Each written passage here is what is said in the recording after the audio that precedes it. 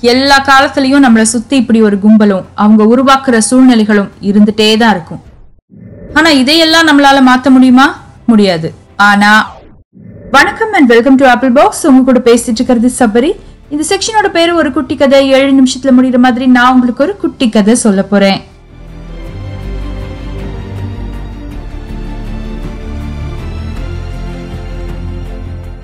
சில காலத்துக்கு முன்னாடி ஒரு ஊர்ல ஒரு வாலிபன் இருந்தா அவனுக்கு ஒரு வியாபாரம் தொடங்கணும் அப்படிங்கிறது ரொம்ப நாள் ஆசை. ஆனா அவன் கிட்ட ஓரளவுக்கு பணம் தான் இருந்தது. அதனால அவனும் மீதி பணத்துக்கு என்ன செய்யறது அப்படின்னு யோசிச்சுட்டே இருந்தான். அப்பதான் அவனுக்கு ஒரு சில நாட்களுக்கு முன்னாடி அவனோட தாத்தா அவனுக்கு கொடுத்த ஒரு பரிசு ஞாபகத்துக்கு வந்தது. அது ஒரு அழகான ஆன்டிக் புத்தர் சிலை. அதை கொடுக்கும் போதே இந்த சிலை குறைந்தபட்சம் ஐந்தாயிரம் டாலர்களுக்காவது விற்பனையாகும் அப்படின்னு அந்த தாத்தா சொல்லியிருந்தாரு. ஐயாயிரம் டாலர்னா நிச்சயமா நமக்கு பெரிய உதவியா இருக்கும். அதனால இந்த சிலையை வித்து வியாபாரத்துக்கு தேவையான ஒரு பகுதி பணத்தை தயார் செய்யலாம் அப்படின்னு அந்த வாலிபன் முடிவு செய்தான். இப்போ அதற்கான விளம்பரத்தை தயார் செய்தாச்சு. ஆன்லைன் செல்லிங் பிளாட்ஃபார்ம் ஒண்ணுல அந்த விளம்பரத்தையும் போட்டாச்சு.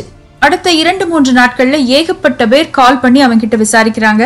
அதுல ஒருத்தர் அந்த சிலையை வாங்குறதுக்காக வீட்டுக்கும் வராரு. போட்ட ரெண்டு மூணு நாள்லயே ஏகப்பட்ட பேர் கால் பண்றாங்க.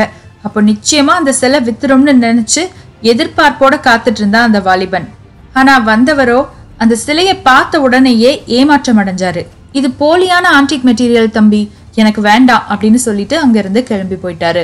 இவனுக்கு ரொம்ப வருத்தமா போச்சு. சரி அடுத்த நபர் வரட்டும் அப்படின்னு சொல்லி கொஞ்ச நேரம் காத்துட்டு இருந்தான். அடுத்ததும் ஒருத்தர் வந்தாரு.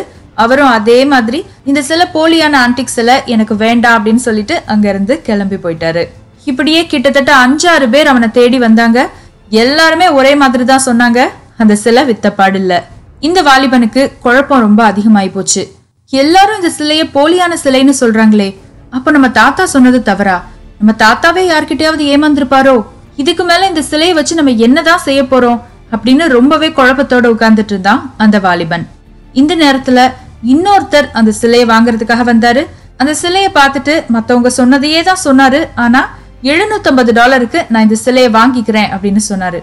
மத்தவங்க எல்லாம் ஐநூறு தான் பெறும்னு சொன்னாங்க. இவர் 750 தர்றேன்னு சொல்லிட்டாரு. விற்காத இந்த சிலையை இவர்கிட்டே கொடுத்துடலாம் அப்படின்னு நினைச்சு அவர்கிட்டயே வித்துட்டான் அந்த வாலிபன். அவரும் 750 டாலருக்கு அந்த சிலையை வாங்கிட்டு கிளம்பிட்டாரு. இவன் மறுபடியும் தன்னுடைய வியாபாரத்துக்கான பணத்துக்கு ஏற்பாடு செய்துட்டு இருக்கிறான் ஒரு சில நாட்கள் கடந்து போகுது. இப்படி இருக்கும்போது ஒரு நாள் தன்னுடைய தொழில் விஷயமாக பக்கத்து ஊரில் இருக்கிற கடைத்தெருவுக்கு போன அந்த வாலிபனுக்கு ஒரு பெரிய அதிர்ச்சி காத்துட்டு இருந்தது. ஏன்னா அந்த கடைத்தெருவுல அவன் ஒரு கடையை பார்த்தான். அது ஆன்டிக் பொருள்களை எல்லாம் விற்கிற ஒரு கடை. அந்த கடையில இவன் வித்தானே ஒரு சிலை. அதே சிலை டிஸ்பிளேல இருந்தது. பக்கத்துல போய் பார்த்தப்போ அந்த சிலையுடைய விலை ஏழாயிரம் டாலர்கள் அப்படின்னு குறிக்கப்பட்டிருந்தது.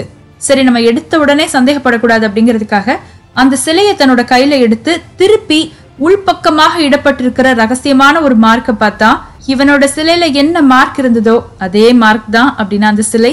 இவன் வித்த சிலை தான் உடனேயே அந்த கடைக்காரர்கிட்ட போய் கோபத்தோட சண்டை போட்டான் நடந்த எல்லாத்தையும் கேட்ட அந்த கடைக்காரர் அவனை பார்த்து சொன்னாரு நீ முட்டாளா இருந்ததுக்கு நான் என்னப்பா செய்ய முடியும்? அப்படின்னு.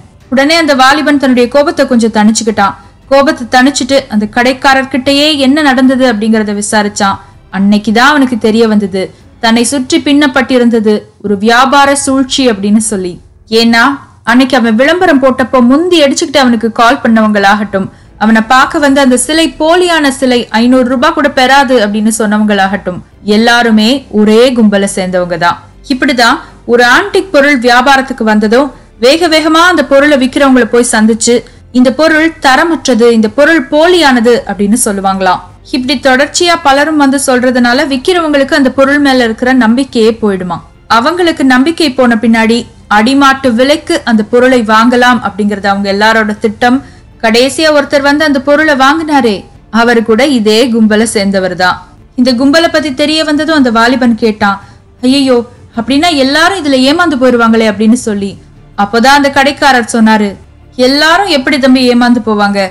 தன்னுடைய பொருளின் மீது நம்பிக்கையுடையவனும் தன்னுடைய பொருளை பற்றிய அறிவு உடையவனும் யாரு என்ன சொன்னாலும் அதுக்கு பயப்படவே மாட்டானே குழம்பவே மாட்டானே அப்படின்னு. இந்த இடத்துல தான் அந்த வாலிபனுக்கு தான் எந்த இடத்தில் தவறி விழுந்தோம் அப்படிங்கிறது புரிஞ்சுது. இன்னைக்கு இந்த கதையையும் உங்களுக்கு ஏற்படுற பயத்தையும் பொருத்தி பாருங்க. இந்த கதையில நம்ம பார்த்த சிலை அப்படிங்கிறது நம்ம கிட்ட இருக்கிற திறமை நம்ம குறிக்கோள் நம்ம முயற்சி.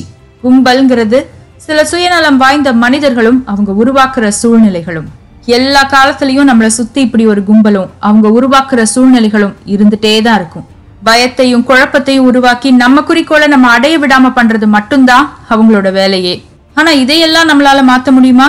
முடியாது. ஆனா நம்ம திறமை மீது நமக்கு இருக்கிற நம்பிக்கைய நம்ம குறிக்கோள் மீது நமக்கு இருக்கிற உறுதிய நம்ம முயற்சி மீது நமக்கு இருக்கிற நம்பிக்கைய அதிகப்படுத்த நம்மளால முடியும். தன் மீது நம்பிக்கை வைத்து முயற்சியை தொடர்கிறவன் ஒரு நாளும் பயப்பட மாட்டான் ஒரு நாளும் குழம்ப மாட்டான் குறிக்கோளை அடைந்து வெற்றி பெறுவான். அப்படிப்பட்ட ஒருவனாக ஒருத்தியாக நீங்கள் இருக்க உங்களுக்கு எனது வேண்டுதல்களும் வாழ்த்துக்களும். இந்த கதை உங்களுக்கு பயனுள்ளதாக இருந்திருக்கும் அப்படின்னு நினைக்கிறேன்.